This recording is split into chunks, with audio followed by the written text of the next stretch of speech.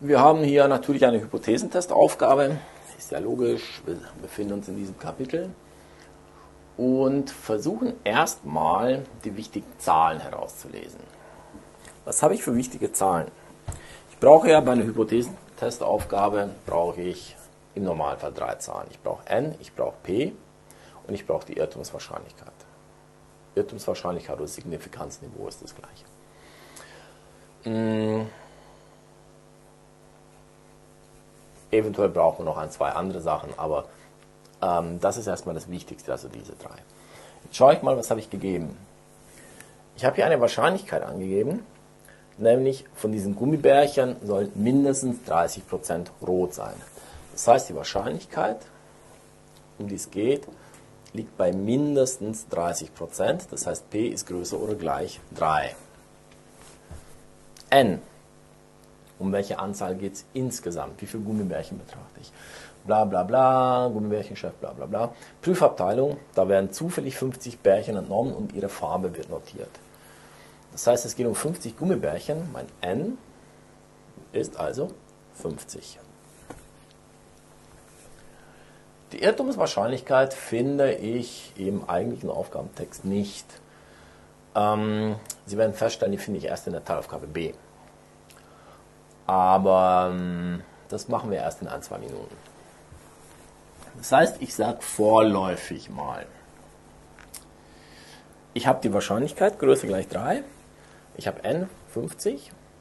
Und damit kann ich mir schon zumindest eine Skizze machen. Die Skizze müssen Sie normalerweise nicht machen, aber ich habe es schon 20.000 Mal gesagt, ich sage es nochmal. Ich empfehle Ihnen dringend, dringend, dringend, machen Sie bitte, bitte eine Skizze, sie wird sehr hilfreich sein. Also, wie mache ich die Skizze? Jede Wahrscheinlichkeitsverteilung hat ja diese Form der Glockenkurve. Die kleinste Zahl, die auftreten kann, ist 0. Die größte Zahl, die auftreten kann, ist 50. Mein n.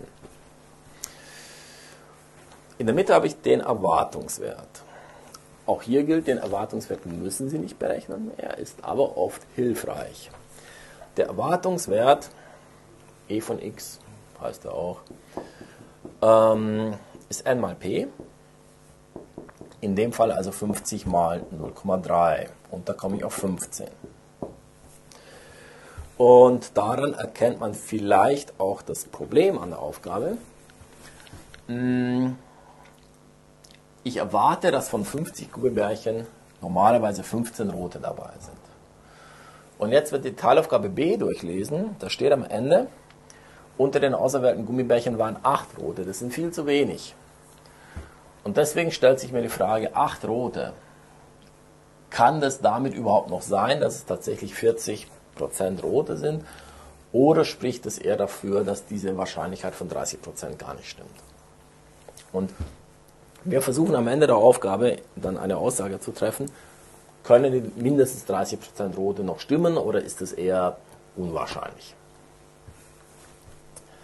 So, nachdem Sie die Skizze haben, ist die nächste große Aufgabe, vielleicht sogar die größte Fragestellung beim einseitigen Hypothesentest. Handelt es sich um einen linksseitigen Test oder handelt es sich um einen rechtsseitigen Test? Und da gibt es eine Faustregel. Beim Wort mindestens, also mindestens 30 Prozent, beim Wort mindestens ist es normalerweise ein linksseitiger Test, beim Wort höchstens ist es normalerweise ein rechtsseitiger Test. Allerdings betrachten Sie diese Faustregel mit Vorsicht. Man kann die Aufgaben so geschickt umformulieren, ich habe solche Aufgaben schon gesehen, dass es genau andersrum ist. Also ähm, nehmen Sie diese Faustregel nur, wenn Sie anders nicht, gar nicht zurechtkommen. Die sichere Methode geht folgendermaßen. Sie überlegen sich immer die kleinen Zahlen und die großen Zahlen. Sie überlegen sich, sind kleine Zahlen gut und sind große Zahlen böse? Oder sind große Zahlen gut und sind kleine Zahlen böse? In diesem Fall also. Ich entnehme 50 Gummibärchen. Wenn ich jetzt sehr viele rote hätte, Wäre das gut oder wäre das schlecht? Annahme, ich hätte von den 50 Gummibärchen hätte ich 40 rote. Das wäre ja gut, weil ich sage, es sollen ja mindestens 30% rote dabei sein. Wenn also sehr viele rote dabei sind, spricht es ja dafür, für die Theorie. Wenn ich jetzt aber sehr wenig rote hätte, wenn zum Beispiel von den 50 Gummibärchen kein einziges rotes dabei ist, dann muss ich sagen, naja, diese mindestens 30% rote passt nicht zusammen. Das ist unwahrscheinlich. Das heißt, in diesem Fall ist so, kleine Zahlen wären verdächtig, böse, gute Zahl, äh, große Zahlen wären gut. Und wenn die kleinen Zahlen böse sind, schneide ich links ab bei den kleinen Zahlen. Das heißt, in diesem Fall weiß ich, es ist ein linksseitiger Test. Jetzt brauche ich natürlich noch die Zahlen. Bis zu welcher Zahl schneide ich das ab und ab welcher Zahl ist es zulässig? Auf Deutsch, ich bestimme den Annahmebereich und den Ablehnungsbereich. Also, um den Annahmebereich und Ablehnungsbereich zu bestimmen, brauche ich die Irrtumswahrscheinlichkeit. Und das steht in Teilaufgabe B. Wir handeln nochmal kurz Teilaufgabe A ab. Ähm, die Nullhypothese ist immer die Theorie, dass diese angegebene Wahrscheinlichkeit stimmt. Die Nullhypothese wäre in diesem Fall also die Theorie, dass mindestens 30% Rote drin sind. Die Alternativhypothese ist die Theorie, dass es nicht stimmt, also sprich, dass es weniger als 30% Rote hat. Das war es auch schon. Wir schreiben es nachher nochmal auf, aber im Prinzip war es das. In der Teilaufgabe B habe ich jetzt angegeben, ich habe eine Wahrscheinlichkeit von mindestens 98%, dass diese Häufigkeit von 30% stimmt. Wenn ich eine Sicherheit von 98% habe, heißt es, ich habe eine Irrtumswahrscheinlichkeit von 2%. Meine Irrtumswahrscheinlichkeit ist also 2%, um es genau zu nehmen, 2% oder weniger, weil die Sicherheit ist ja 98% oder mehr. Heißt also, dieses Intervall hat eine Wahrscheinlichkeit von 2% oder weniger, Irrtumswahrscheinlichkeit. Und das Hauptintervall, der Annahmebereich, hat eine Wahrscheinlichkeit von 98% oder mehr. So, jetzt nehmen Sie Ihre Tabelle. Schauen bei der kumulierten Binomialverteilung nach. N ist 50, p ist 0,3. Und Sie suchen jetzt den größten x-Wert oder k-Wert, dessen Wahrscheinlichkeit aber noch unter 2% liegt. Also Sie gucken jetzt in Ihrer Zeile, in Ihrer Spalte da bei 0,3 und suchen den letzten x-Wert, dessen Wahrscheinlichkeit noch unter 2% liegt. Und wenn Sie den gefunden haben, dann haben Sie die letzte Zahl vom Ablehnungsbereich. Sie werden feststellen, beim x-Wert von 8 haben Sie eine Wahrscheinlichkeit, also eine kumulierte Wahrscheinlichkeit, bla bla bla, von ungefähr 0,018. Also 1,8 Prozent, das ist kleiner als 2 Prozent. Beim nächsten x-Wert, bei 9, haben Sie eine Wahrscheinlichkeit von ungefähr 0,04, also ungefähr 4 Prozent. Und das ist natürlich größer als 2 Prozent. Das heißt, die 9 ist schon zu viel. Die Zahl, die wir suchen, ist die 8. Das heißt also, die 8 ist die letzte Zahl vom Ablehnungsbereich. Bedeutet automatisch, die 9 ist damit die erste Zahl vom anderen Bereich. So, das wäre eigentlich das Wichtigste von der Aufgabe. Dann schreiben wir das Ganze nochmal ordentlich auf und dann können wir die Fragen von der Teilaufgabe A, B, C eigentlich mit einem Abwasch alle erledigen. Also nochmal, ich werde jetzt gleich alles wegwischen, weil ich brauche einen Platz. Was schreiben wir uns auf? Der Ablehnungsbereich beginnt bei 0 und endet bei 8. Und damit beginnt der Annahmebereich logischerweise bei 9 und endet bei 50. Das schreiben wir uns auf, das ist das Wichtigste. Also hier alles weg.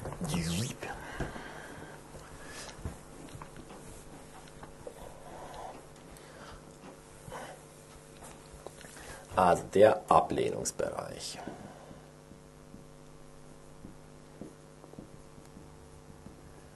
ist das Intervall von 0 bis 8.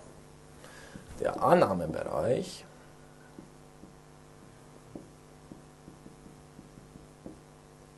beginnt bei 9 und endet bei 50. So. Damit kann ich die Teilaufgabe B beantworten. Ich fange aber mal mit A an. Ich hatte es ja vorher kurz gesagt, was ist die Nullhypothese, was ist die Alternativhypothese. Die Nullhypothese ist die Theorie, dass die Wahrscheinlichkeit von mindestens 30% stimmt. Das heißt, H0 ist die Theorie, dass P größer gleich 0,3 ist. Und die Alternativhypothese, schreiben wir es drunter, H1, ist natürlich die Theorie, dass es nicht stimmt, also dass die Wahrscheinlichkeit kleiner als 0,3 ist. Teilaufgabe B. Für die Teilaufgabe B brauche ich, wie schon gesagt, den Ablehnungsbereich und Annahmebereich. Und jetzt erst kommt diese Zahl 8 ins Spiel. Ich weiß ja, unter diesen auserwählten Bärchen sind 8 rote. Und diese Zahl 8 liegt, muss ich schauen, liegt die Zahl im Ablehnungsbereich oder liegt die 8 im Annahmebereich? Die 8 liegt im Ablehnungsbereich.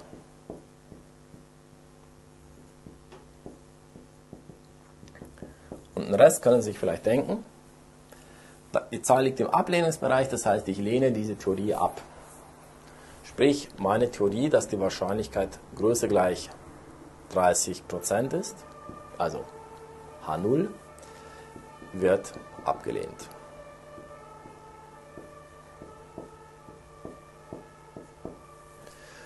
Auf Deutsch, die Wahrscheinlichkeit, dass es mindestens 30% rote drin hat, die ist vermutlich falsch.